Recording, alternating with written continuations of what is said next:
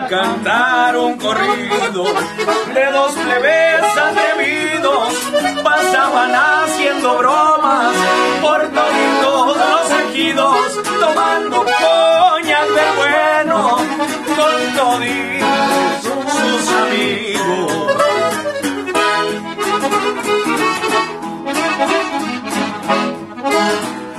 Se celebraba una boda en el rancho